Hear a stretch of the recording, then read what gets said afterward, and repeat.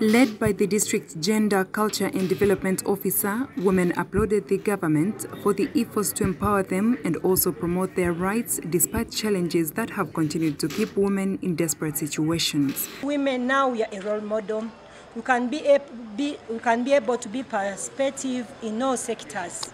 We are the people at home sparing most, sparing most of the families. We can be able to contribute school fees towards our children. So we are really so grateful and we are grateful to the government. According to Sylvia Namubiru, the government has recognized their work by putting them at the forefront in all sectors, including leadership in politics and management. These days it has recognized a woman to make sure a woman also who used to be behind the kitchen but now a woman is at the front. We thank the government. We are so grateful that women, we are doing well and we shall be able to do well.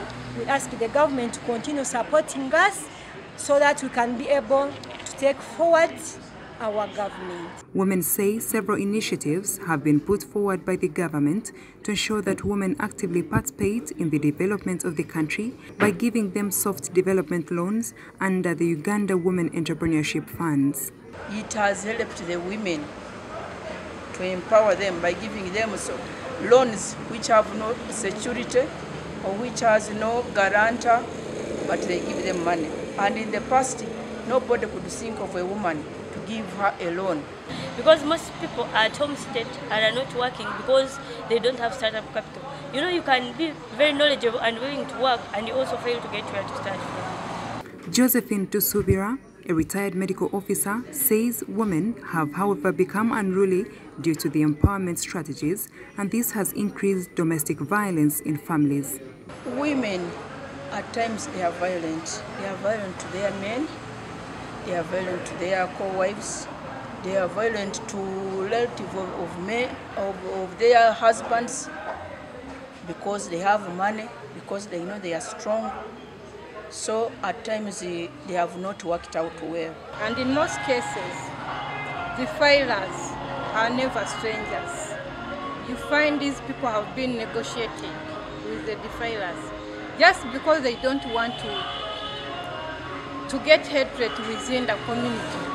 Hedwig Mbazira, the guest speaker, challenged women to get started by shining failure, managing time well, and also setting priorities for their families. She says there is nothing men can do that women cannot do.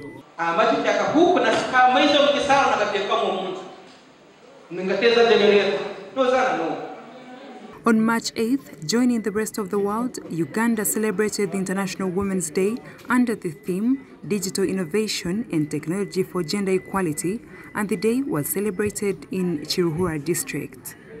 Report by Thomas Tumwebaze for the news. 마치 불안한 회사 그래만 우리의 왜